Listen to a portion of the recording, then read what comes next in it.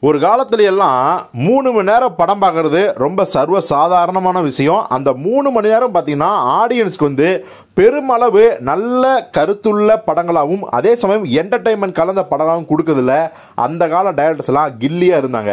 ஆனால் என்னமோ தெரியல இந்த ஒரு அஞ்சாறு வருஷமாக இன்னும் சொல்லப்போனால் ஒரு பத்து வருஷமாக எடுத்தால் கூட இந்த மூணு மணி நேரம் டியூரேஷன் அப்படிங்கிறது ரசிகர்களுக்கு பெரிய தலைவலியாக இருக்குது. பழைய காலம் மாதிரி சுவாரஸ்யமான திரைக்கதையும் இப்போ வர படங்களில் பெருமளவு இல்லை. எடுத்த கதையை எடுத்து ஹாலிவுட் படங்களோட கலவையாக தான் எடுத்து ரொம்பவே சாகடிக்கிறாங்க அப்படிங்கிறது தான் இப்போ வர அதாவது தியேட்டருக்கு வர கொஞ்ச நஞ்ச ரசிகரோட கவலையாக இருக்குது இப்போ கூட பார்த்தீங்கன்னா நம்ம சியான் விக்ரமோட கோப்ரா படத்துக்கு மிகப்பெரிய கம்ப்ளைண்ட்டே என்ன அப்படின்னா அந்த மூணு மணி நேரம் டியூரேஷன் தான்.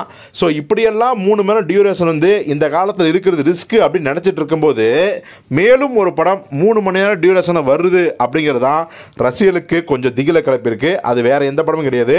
நம்ம கௌதம் மேனன் இயக்கத்தில் சிம்பு அவர்கள் நடிச்சிருக்க வெந்து தனிதது காடு படத்தோட டியூரேஷன் தான் மூணு மணி நேரம்னு நம்ம கௌதம் மேனன் சொல்லி சொல்லியிருக்காரு. அவர் இந்த படத்தை பற்றி என்ன சொன்னார் அப்படின்னா ஆக்சுவலி சிம்புவோட பணிபுரியிறது ரொம்பவே எதிர்பார்ப்பாக இருக்கும்.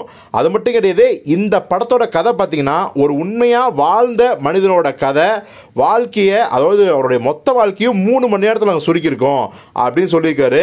ஸோ இதுலேருந்து என்ன தெரியுது அப்படின்னா இந்த படமும் மூணு மணி நேரம் டியூரேஷனுங்கிறத அவரே ஓப்பனாக சொல்லிட்டாரு. அது மட்டும் இல்லை இந்த படத்தில் லவ் ட்ராக்லாம் இருக்குது அது கண்டிப்பாக சுவாரஸ்யமாக இருக்கும். இன்னொரு விஷயம் வெந்து தனது காடு படத்தோட இரண்டாம் பாகம் வர்றதுக்கான எல்லா வாய்ப்பும் இருக்குன்னு சொல்லியிருக்காரு. செகண்ட் பார்ட் வரதில் பிரச்சனையே இல்லை. ஆனால் இந்த முதல் பார்ட்டே மூணு மணி நேரம் அப்படிங்கிறது தான் கொஞ்சம் பீதியை கிளப்புது. இருந்தாலும் நம்ம கௌதம் மேனன் விண்ணை தாண்டி வருவையா ஒரு காக்க வேட்டையாடுவது மாதிரி சுவாரஸ்யமான திரைக்கதை அமைச்சிருந்தாருன்னா நிச்சயமாக அந்த மூணு மணி நேரம் ஆடியன்ஸு ரொம்ப பொறுமையாக படம் பார்ப்பாங்க. அதில் எந்த வித சந்தேகமும் இல்லை. ஆனால் எங்கேயாவது லேக் இருந்தால் அது மிகப்பெரிய ரிஸ்க் ஆயிரும் படத்துக்கு.